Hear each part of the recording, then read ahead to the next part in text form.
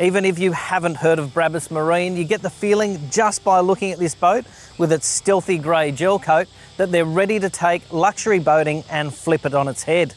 This boat is both bold and luxurious and comes fitted with the best of the best. And if you really want to stand out, is there any other choice?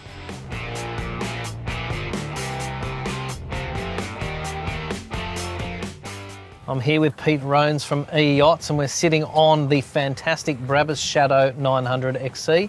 Peter, what makes the Brabus line really stand out? Well, Brabus over Axopar, obviously it's got the same design of hull, but it's the attention to detail everywhere you go on the boat. As you can see here, right through from carbon to, to handholds, right through the whole boat, whether it's tinted windows, the dash, the interactive wheel, there's a lot of stuff on the boat that is all standard. So really when we're selling one of these boats, you're probably going to choose your layout, choose your colour of your upholstery and choose the colour of the hull, which is all standard, so you're not paying for anything more.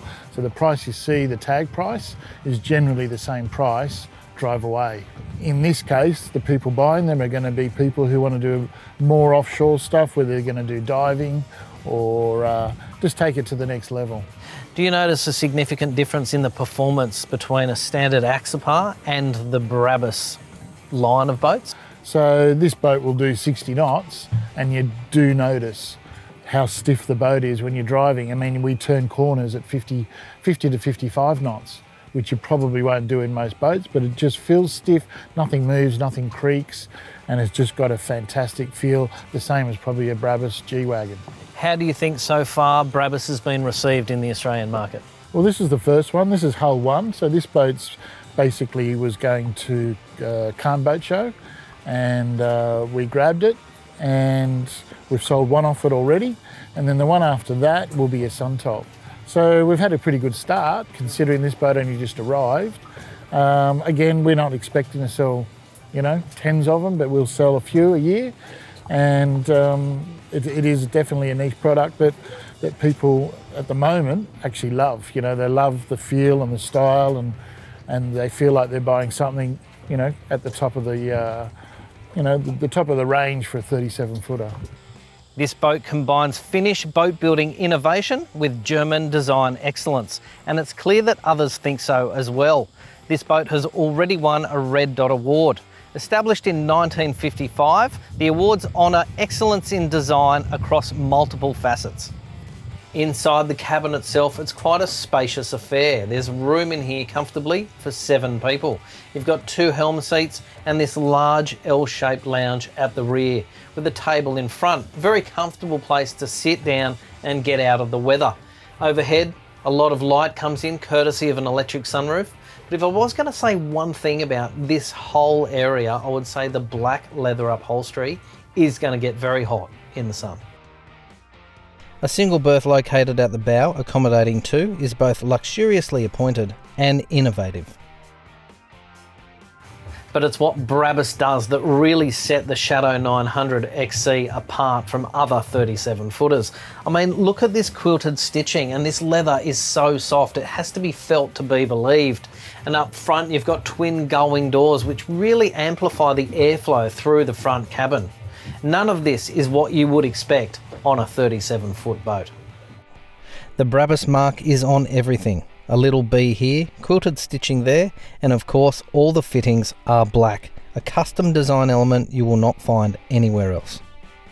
But if you think that all Brabus do is take a standard Axopar and make it look fancy, think again. Engineering is at the core of what they do.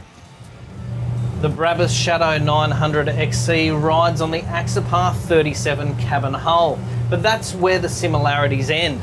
Inside the cabin though, it's incredibly smooth and quiet as well.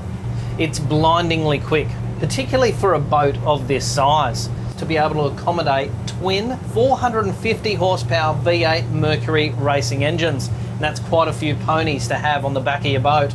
Top speed of 60 knots or 112 kilometres an hour, and that'll get you from A to B in very short order. Axopar have already established themselves as a driver's boat, a boat that really needs to be driven properly. But have Brabus made it better? Well, I think so. This thing is supremely quiet. I'm surrounded by incredible luxury, and not to mention the agility and performance that this boat has with twin 450 horsepower engines has to be seen to be believed. To go along with all that horsepower, Brabus have completely redesigned the dashboard. There's a lot of glass here, quite reflective, but you can read the screens easily. Twin 12 inch Simrad screens come standard, running a Brabus interface. But what I really like about the driving position is the steering wheel.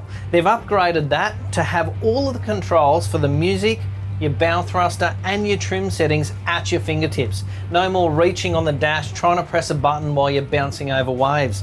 This is truly a complete package. Performance, handling, luxury, and all the bits and pieces that you could ever want on a boat.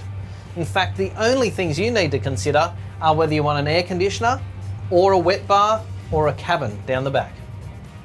The Axopars have been red hot in Australia, and Brabus have taken what is already a very good boat and made it exceptionally better. Everything that you want in a boat is on board standard, giving you the ultimate in luxury, sophistication, and performance as well. And with all that on board, you're certainly going to stand out from the rest of the crowd. I'm Dom Wiseman for Club Marine TV. Catch you on the next episode.